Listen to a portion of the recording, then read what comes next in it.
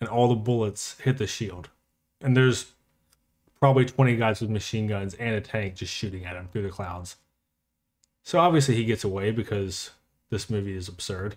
He one of the bullets hit him, hits him in the leg or did hit him in the leg. So he goes and digs it out. He's hiding under a truck that was burnt out on the way. They catch up to him and they're using the dogs to chase after him. He hops under a truck and puts gasoline on himself to cover the smell. And then he runs away and they see him jump into the river. And again, there's like 20 guys shooting at him when he's running. Oh, yeah, and then he lights himself on fire with the gasoline to get the dogs to stop chasing him. So, you know, that was great. So then he jumps in this river. You've got this whole group of Nazis just staying there watching this river. And the river is wide enough where you couldn't just swim across underwater. So they're just waiting for him to pop up. So he pops up once, they shoot at him, they miss because he just pops up for a brief second. And instead of just waiting like this, they send this little rowboat out there with like three guys on it. And they're like, go get him. These fucking guys go out there. One jumps in the water. He comes up behind him, slits his throat, and then sucks the oxygen out of the slit in his throat so he doesn't have to come above water. And he does this three times and then gets to the other side of the riverbank. Is absolutely fucking absurd. And on the other side of the riverbank, again, the tank is shooting at him. He's fine. Obviously. Because he's carrying a dead body on him, so the tank bullets still matter. So eventually they catch up to him because now he's exhausted.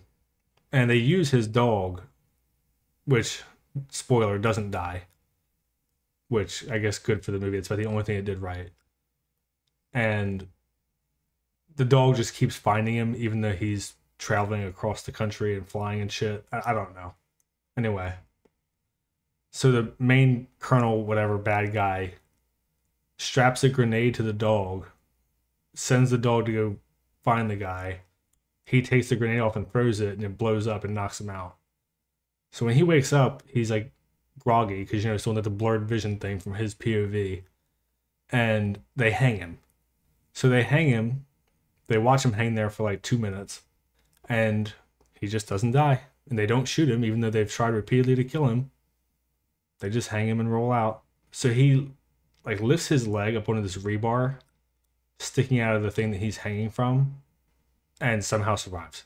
and then a plane flies and lands right next to him, and his the thing that he's hanging on is like a little sign. So it swayed a little bit when the plane came when the plane when the plane came by, and it falls over. So he's able to get off of it. And then these two Nazi guys are looking for gas because he's hanging by a gas station. The guy's like, go kill him and the dog. So when the guy goes to shoot him, even though he's got his hands behind his back with a rope, and he's laying on the ground after just being hanged for the entire night, still not dead. He kicks the guy in the knee, the guy hits a rock, and then he takes the guy's gun and shoots the other guy. So he takes their plane, crashes it in front of this group of Nazis who are on their way to Oslo. And he sneaks onto their truck, which none of this makes any fucking sense because they're in a formation and they have this truck full of women. So he sneaks onto this truck full of women, but the tank is behind them, but no one sees it. And they have like a convoy of trucks and no one sees them at any point. Whatever. So he kills the guys in the girls' truck, and the girls take over the truck. You know, they use they use the machine guns that the Nazis had. They kill all the ones that they can in the trucks. He has this ridiculous fight around the tank and on the tank and whatever. Eventually, he kills all the guys in the tank. He gives the girls the tank to go to the checkpoint that the Nazis were going to because I guess they're supposed to be friendly. And he knocks this one guy out, but leaves him to be because he was raping all the girls.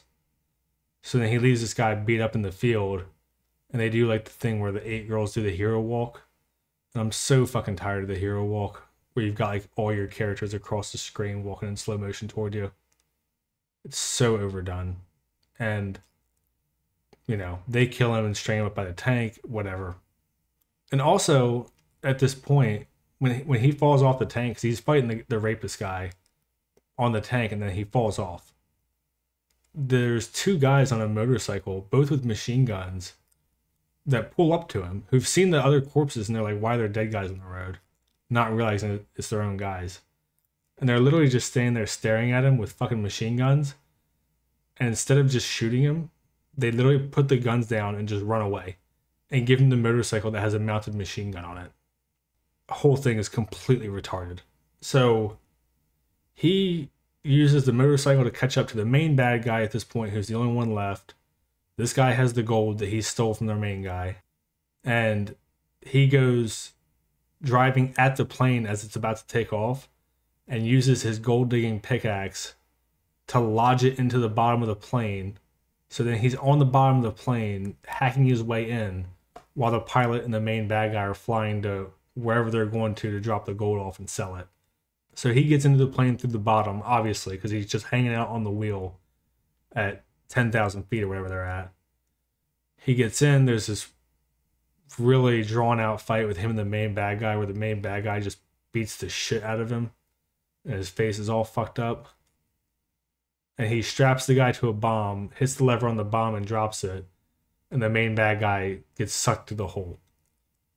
Also, because he was shooting at the plane when it was taken off, he hit the pilot and the pilot bled out. So now he's in a plane with no pilot.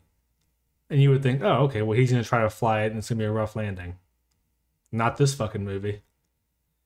He ties himself to just a spot on the plane. The plane goes straight down from like 10,000 feet, just face down into the earth, explosion, all that shit cut and he's coming out of the coming out of the tar. He lived because he's just invincible. He takes the gold, goes and gets his payday. The girls show up to Oslo. They say they stole the tank from the Nazis. Finally, this fucking movie's over. So this was incredibly disappointing.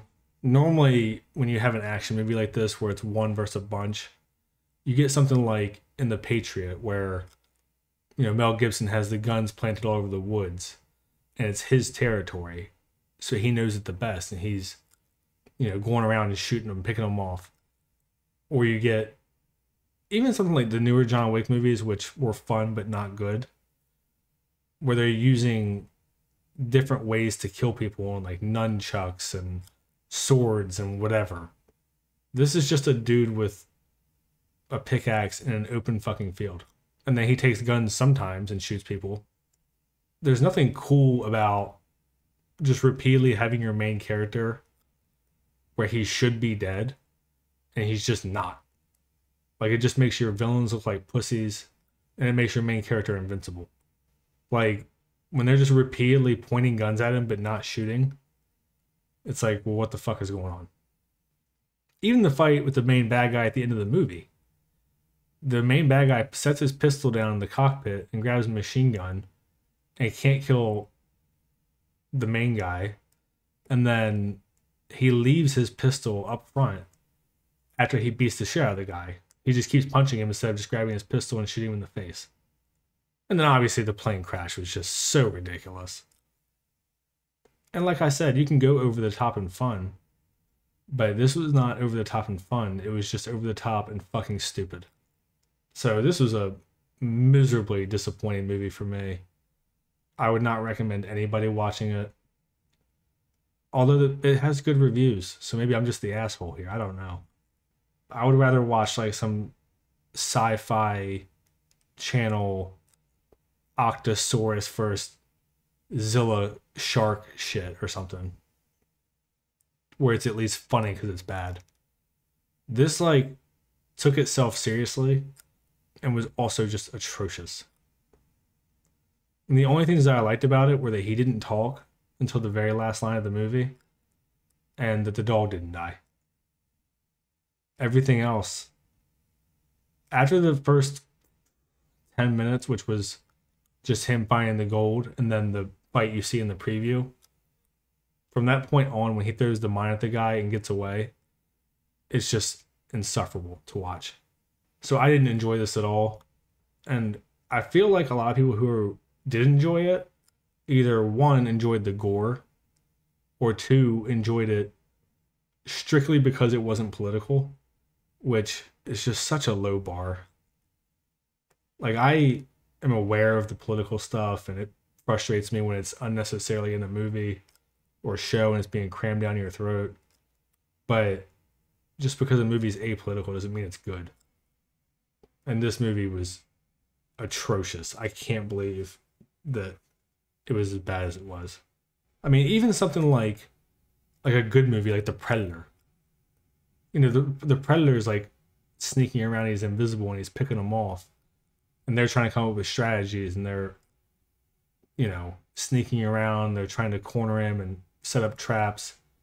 There's like intelligent things that are going on. This was just a dude in a field with guns being pointed at him but not dying. Uh, it was just miserable. I'm going to stop now because I'm just getting irritated talking about it again. But yeah, that's it for me on this one. Uh, thanks. See ya.